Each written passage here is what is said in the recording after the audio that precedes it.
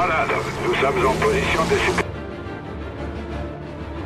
supériorité aérienne dans cette zone. Mais la sixième armée allemande continue malgré le blocus. À être ravitaillée par les airs. Notre mission consiste à mettre un terme à ce pont aérien. Nous devons détruire tout avion de la Luftwaffe qui essaie d'atterrir à l'intérieur de cette poche. Sinon, une victoire à Stalingrad pourrait prendre beaucoup de temps.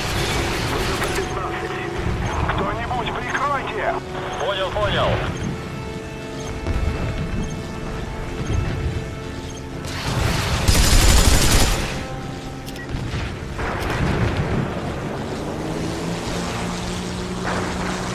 Слушай мою команду! Держите строй! Есть, так точно.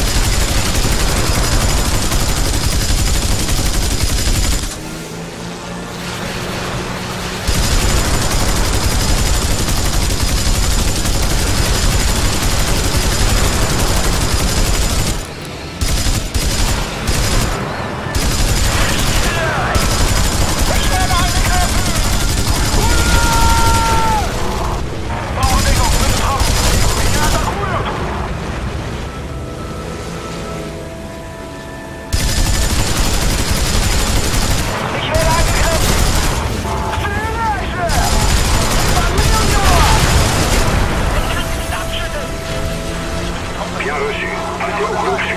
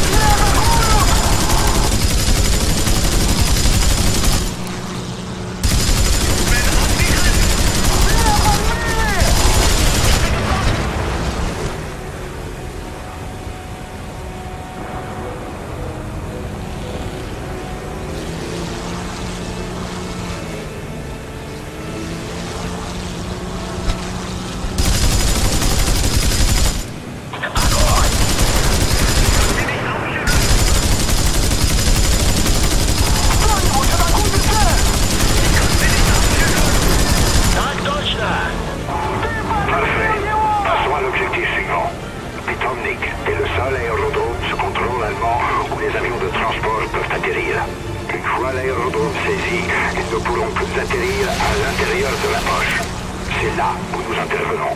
Nous devons détruire les canons positionnés autour de l'aérodrome. Cela permettra à nos troupes au sol d'avancer. Regardez bien autour de vous. Quelques chasseurs du JG-3 ou DED opèrent toujours depuis Pitondik.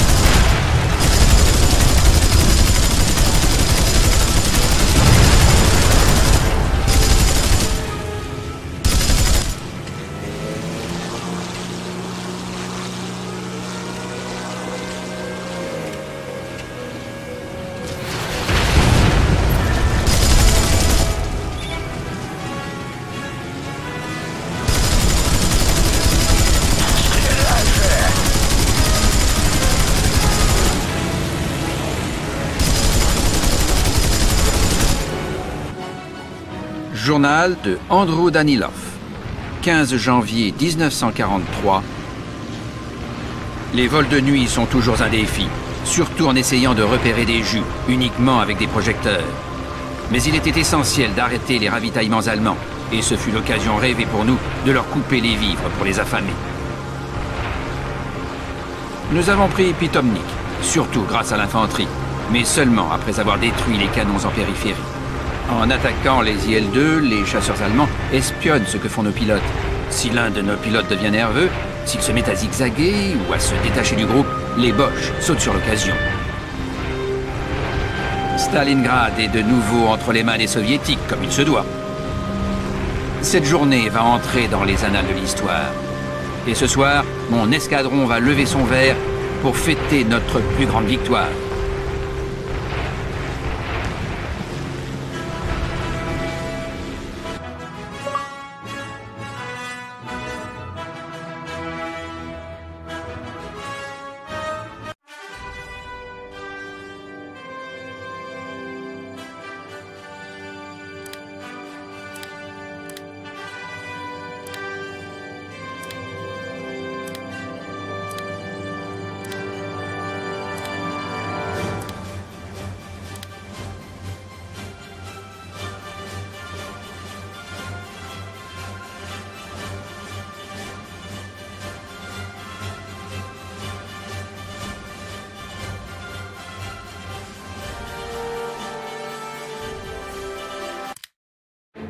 Les États-Unis sont entrés dans la Seconde Guerre mondiale suite à l'attaque japonaise de Pearl Harbor le 7 décembre 1941.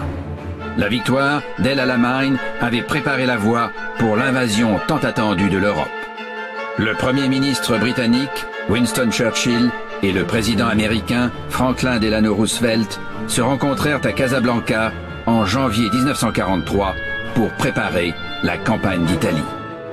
Après quelques jours de pourparlers, on décida de commencer l'invasion par la Sicile. Celle-ci était défendue par la 6e armée italienne. Benito Mussolini, Premier ministre italien, était commandant en chef des forces italiennes. La campagne d'Italie commença en juin 1943 avec une opération à grande échelle commandée par le général Dwight Eisenhower. Pour préparer l'invasion de la Sicile, plusieurs îles avoisinantes furent envahies par une force regroupant des forces armées britanniques, canadiennes et américaines.